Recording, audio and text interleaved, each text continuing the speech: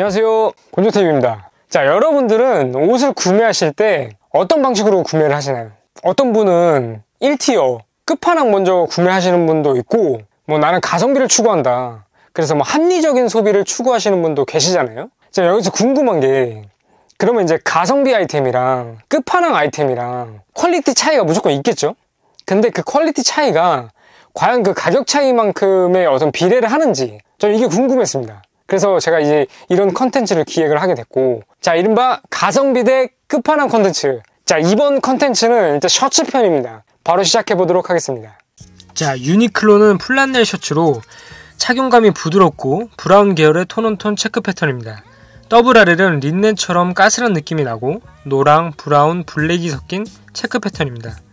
카라 디자인은 유니클로가 좀 더 직선적이며 더블 RL은 좀 둥글둥글하고 볼륨감이 있습니다 유니클로의 단추는 원단 컬러와 tone on tone 조합의 브라운 색상이고 더블 RL의 단추는 아이보리 색상입니다.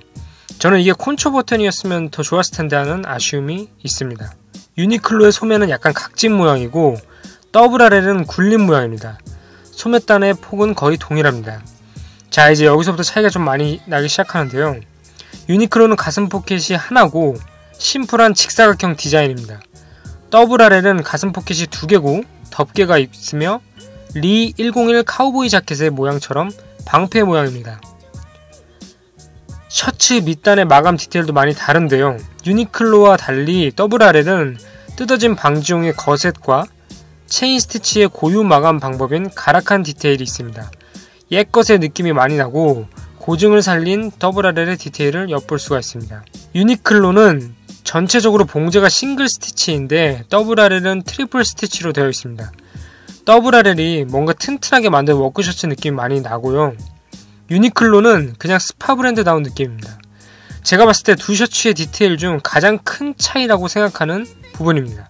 유니클로와 더블 RL 모두 면 100%고 인도 생산입니다. 하지만 원단의 가공법이 달라 둘은 전혀 다른 느낌입니다. 역시 가장 큰 차이는 이거죠. 브랜드 라벨. 하나는 3만원대 유니클로, 하나는 30만원대 더블 RL 물론 사진으로 보여드렸지만 한번 예, 실제로 실착했을 때 어떤 느낌인지 이게 유니클로 같아 더블 RL 같아 한번 만져봐 잘 모르겠는데? 어 뭐야 부드러워 이게 되게 좋아 보이는데? 그럼 더블 RL 아닌가?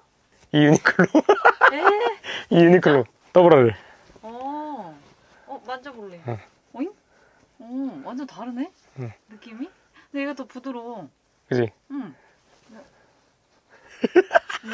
그러니까 둘 다 면 100%야. 근데 이제 얘는 이제 플란넬인데 촉감이 더 좋을 수밖에 없어. 어, 촉감이 굉장히 포근포근하고 얘는 조금 가공이 조금 빈티지한 느낌을 내, 내려고 하는 건지 몰라도 약간 좀 린넨 느낌? 뻐신 느낌? 음, 가을 셔츠긴 한데 일단 뭐 더블 RL도 입어볼 테지만 유니클로 착용감에 대해서 말씀드리자면 굉장히 터치감 좋습니다. 굉장히 터치감 좋고 fit도 나름 괜찮아. 근데 일단 포켓이 디테일 이거 하나고 그러니까 나는 이거 웨스턴 느낌 때문에 산 거잖아. 음. 근데 웨스턴 느낌 덜해. 좀 더 캐주얼해. 근데 솔직히 씨 뭐가 좋은지는 좀 나조차도 좀 애매하다. 셔츠를 빼면은 기장이 좀 짧아. 봐봐. 어. 아 이게 좀 캐주얼하게 입을 수 있는 유니클로 원래 캐주얼 브랜드니까. 그래서 이제 이렇게 셔츠를 빼서 입을 수도 있게끔 이렇게 만든 거고. 어, 전체적인 뭐 디테일은 음, 이렇게 보시면 되고. 자 이제 이게 더블 RL 음. 어때? 아 뭔가 확실히 이게 다르네 아니 아까 저, 저게 더블 아래라며 요게 약간 그 노란색 요런 요런 거랑 진한 게 이렇게 들어간 게 좀 더 빈티지한 음, 느낌인데 음, 이게 음, 좀 소재가 좀 독특한 것 같기도 하고 가격이 비싸다는 말 들어서 그런 거 아니야? 그런가? 음. 기분 탓인가? 아니, 아니, 근데, 근데 확실히 이뻐. 어찌됐든 그냥 직관적으로 봤을 때 이게 더 예뻐 솔직히 그러네. 나 내가 봤을 때는 비교 딱 했을 때 어, 핏도 이게 웨스턴 셔츠라서 조금 되게 fit한 느낌이 있거든? 그러네. 그리고 원단이 좀 자글자글하고 이렇게 했을 때 좀 tension도 좋아. 그리고 유니클로는 제가 뭐 유니클로 뭐 셔츠 뭐 상의 많이 입어봤는데 이게 빨면 빨수록 막 짧아지고 막 쪼그러들고 막 그래. 어 근데 얘는 뭐, 뭐 얼마나 내가 뭐 많이 빨진 않았지만 그래도 씨뭐 랄프로렌 잘 만들지 않았겠어? 어 그래서 이 전반적인 look을 보면 뒷모습도 어, 이렇게 어.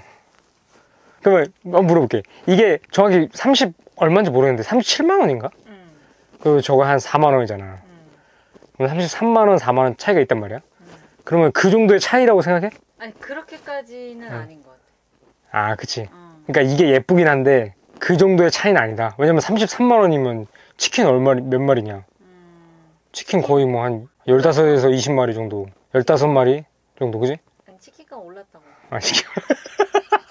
근데 여기서 자켓 같은 거 입잖아. 그럼 자켓 입으면 어떻게 돼? 요, 요, 요거밖에 안 나오지. 그러면 씨발 이게 달라진다니까.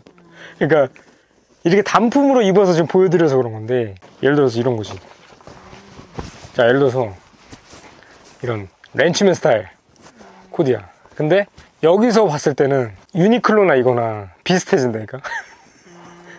이너로 입었을 때. 그렇지 이게 예뻐. 아, 그래도 이게 예뻐? 어, 또 산다. 예뻐.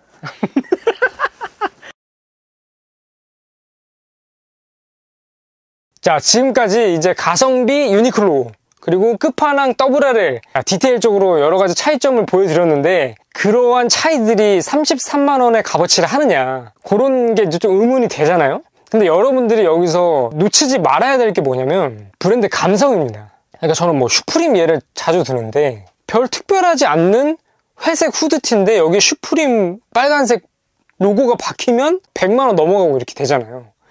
그러니까 이 브랜드 감성이라는 게 무시 못하는 겁니다. 그러니까 quality가 똑같다고 하더라도 브랜드 감성이 주는 그 값어치가 있기 때문에 그런 것들은 여러분들이 선택을 하실 때 잘 생각해서 나는 가성비 갈 거냐, 나는 끝판왕 갈 거냐 이렇게 선택하시면 됩니다. 영상이 도움이 되셨다면 좋아요와 구독, 알림 설정 부탁드리고 저는 다음 영상으로 찾아뵙겠습니다. 감사합니다.